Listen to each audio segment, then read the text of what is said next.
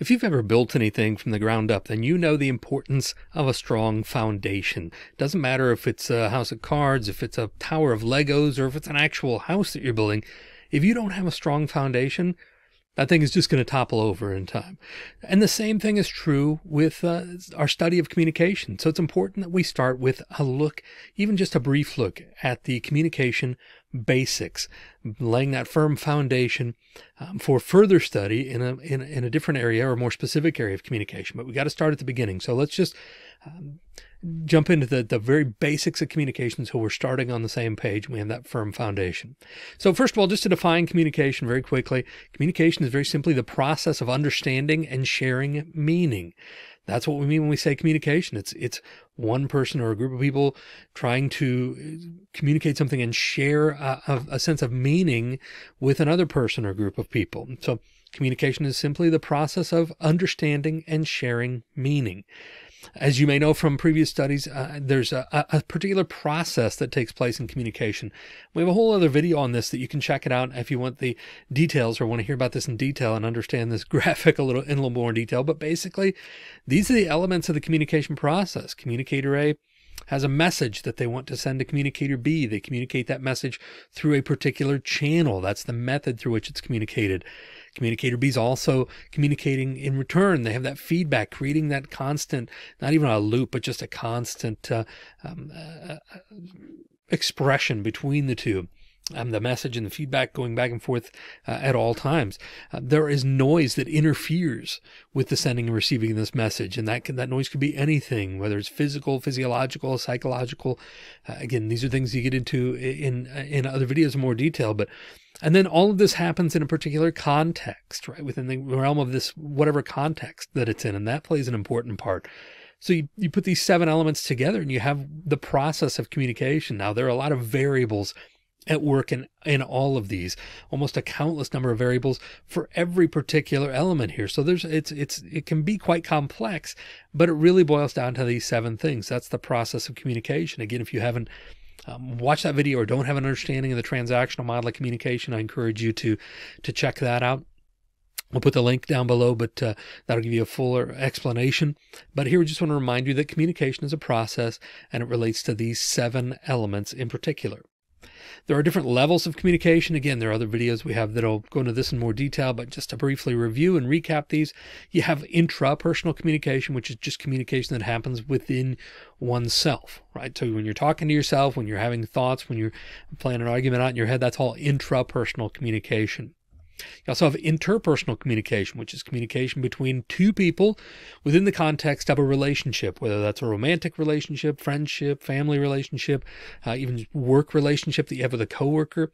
That's interpersonal communication uh, that takes place between two people within the context of a relationship. There are different rules then that kind of uh, and guidelines that exist for group communication. That's another level. When you have three or more people working toward a common purpose or goal, eh, that's what we would define as a group. And there are certain elements of communication that are different for that type of environment and that type of context. So there's group communication. We also have everybody's favorite public communication, you know, clearly defined by public speaking, one person sharing a message with a group of people. Um, and so that, that has, you know, different rules and different expectations with it as well. Finally, we have mass communication. This is communication where a person or a group of people is trying to communicate with as broad an audience as they possibly can. And there's always some form of technology that's used as a medium or a channel between those two people. So um, there are, again, different elements and different rules. And that's not correct. same elements, same seven elements, but different ways that we apply them and different kind of rules that apply to those same seven elements. But the, the transactional model of communication is at work in every one of these levels or, or forms of communication. So um, those seven elements again become very, very important to us. A few principles of communication I just want to share with you again briefly here. We're moving fairly quickly, but this is just an overview. This is just a recap, hopefully to refresh your memory.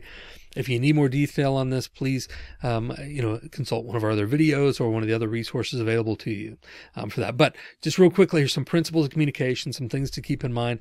Communication can be intentional or unintentional. All of us have moments where we say something and then immediately think, oh, I didn't mean to say that, or I hope they didn't hear that, or I, you know, didn't mean for that to be overheard or, or seen or whatever. sometimes we're very intentional about the way we communicate, and sometimes we communicate unintentionally, or people interpret things with a meaning that we did not intend. So communication can be intentional, but it can also be unintentional. Communication is irreversible, though, whether it's intentional or unintentional. The one thing we can't do is take it back. There are no takes backs in communication. Once you say something, even if you say, well, we'll scrub that, forget I said that, uh, check that, uh, then the other person says, okay, no problem. They're not really going to forget it. I mean, they may try and move on, but it's still going to be there. Once it's out there, it's out there. It's irreversible.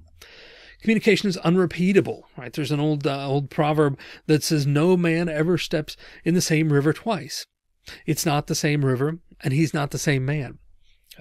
And so what that means is, you know, you step in a river and you, you got that water there and then you step out. Even if you step back in immediately, it's different water. That water has moved downstream. You're also a different person. You know what it's like to step in that river. You know what to expect. So it's a different experience.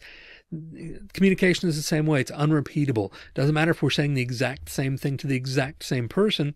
It's going to be different each time. Not necessarily better or worse, just different. Think about the phrase, I love you. Think about, you know, a couple that's been together for a long, long time, right? It's a, uh, uh, an older couple who's been together for a long time. How many times have they said, I love you to one another? And yet each time it's a little different because they're a little different, right? They've grown. They've, uh, first of all, it's never the same. It's not the same the second time you hear it as the first time, right? There's something special about that first time. But then over time, if they've had kids, they've had a life together, they've had joy and they've had pain and so forth. And I love you takes on a different meaning. Again, not necessarily better or worse or more meaningful or less meaningful, just different because that communication is unrepeatable Uh, in that exact context, in that exact sense that you said it before. Communication has content and relational dimensions. This is really important. Um, I, I, tend to think of it sometimes like if you were at work, right? And you had, you had this person at work and you wanted to ask them if they wanted to do something, whether it doesn't have to be a date. It could just be if they wanted to go hang out or something, right? So, uh, but you, ask, so you ask this person at work, you've, you've kind of gotten to know them a little bit and you ask them if they want to do something this Saturday and they say, sorry, I'm busy this Saturday. Those are the words they use. Okay. But there are a variety of ways they can say that and some things we can communicate saying the same things, right? Maybe they say it with an expression of, oh man, I, I, sorry, I'm busy this Saturday. Uh, but they give you, you know, through their facial expressions and the way they say it and things that they give you that impression that, oh, if this were another Saturday, I would love to, but I've got this thing going on and I can't get out of it. Okay. That's one way they could say it. But another way would be, uh, I, I'm sorry, I'm busy this Saturday and give you that facial expression that says, not only am I busy this Saturday, but I'm busy every Saturday for the rest of eternity, right? So uh, they they give you those two things, right? So which one, you know, depending on how we say it, uh, that, that has a major influence on how somebody interprets it and how we how we express it. So there's there's first the content dimension. There's what is said, and the content dimension in this example did not change either time, right? The content dimension was I'm busy this Saturday, so they were telling you that they're not available this Saturday, right? But they said it in those two different ways, right? And the different ways they said it are what we call the relational dimension.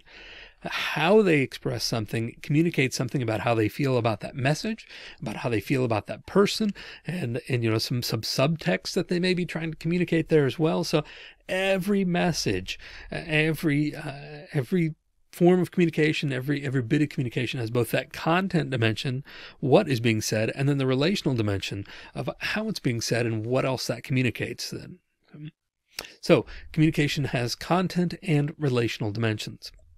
Also, people give communication its meaning. This is important to remember. You know, we think of words as these, excuse me, sort of magical things, right?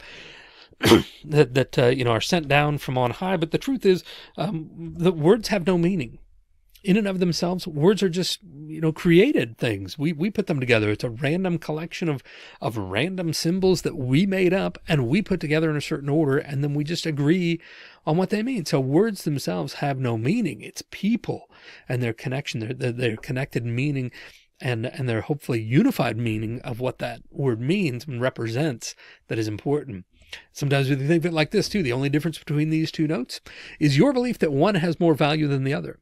So the difference between a legal U.S. tender United States $100 bill and, and a monopoly $100 bill, they're both made of paper. They both use special ink. They both have different colors, right? And they both represent different things. But we know that one has actual value in the real world and one only has value in monopoly. Why? Because we share that meaning. That's that's the only thing that gives that that other you know one more meaning than the other is that we agree. We all have, have collectively agreed that this is the legal U.S. tender dollar and you can't give me your Monopoly $100 bill and expect to buy something with it outside of that game. Communication is the exact same way. The, what gives words or other symbols their meaning is our shared understanding of what those things represent and what they mean. So at this point, uh, sometimes we're thinking, you know, well, what does all this mean? How do I know if I'm doing this right? What is the importance here? And how do we measure effective communication? Well, we measure effective communication through what we call communication competence. And very simply, communication competence is engaging in communication with others that is both effective and appropriate within a given context. So we're measuring it along two different axes, right? Is this effective? Meaning, am I achieving my goal with this communication? And is this appropriate? Am I communicating in the most appropriate way? And then that last part is important too, within that given context. So understanding that what is appropriate here may not be appropriate somewhere else. And, and what's appropriate in one situation may not be as appropriate or effective in another. So communication competence is communicating in a way that is both effective and appropriate for that given context. So some specific things that we look for in communication competence, the elements that make up competence are, first of all, having a large repertoire of skills. I think of this as having a lot of tools in your tool belt, right? a lot of communication tools in your tool belt. If you're going to build a house, you need more than just a hammer. You need some other tools to go along with that, right? To be an effective communicator, we need to be more than just a one trick pony. We need to have a lot of different communication skills that we can pull out of our communication tool belt. So we need to develop a large repertoire of skills to uh, have communication competence. Then we also have to be adaptable. Again, this has to work within a given context. So we have to be able to know when to use a hammer and when to use a screwdriver and when to use, you know, whatever else, a saw. So we need to be adaptable and be able to pull out the right skill at the right time. So we need to um, have that ability.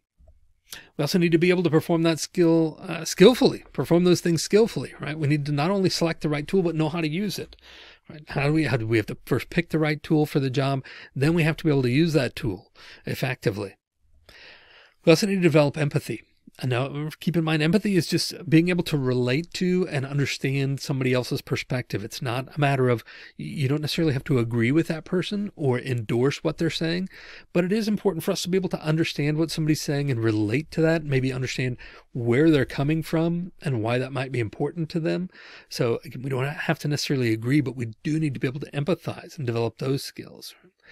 We also need to develop cognitive complexity meaning that we can see things from those different perspectives. We can have a contradicting idea in our head, mull it over, turn it around, look at it from different perspectives, really uh, seek to understand it, um, with, maybe without even rejecting it out of hand.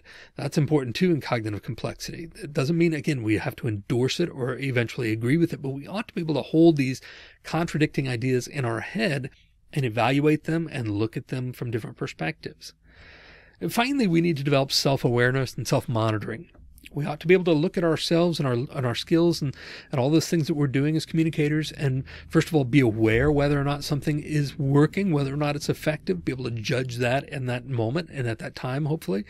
And then also be a, you know conscientious of what our what our skills are and whether they're being effective and then being able to change them right and and monitoring ourselves and saying okay that didn't work in this situation so what else can i do here? What else might i have tried? Um, what can i do next time? And uh, and just being aware of our communication skills and and continually uh, trying to grow those and and help them be more adaptable.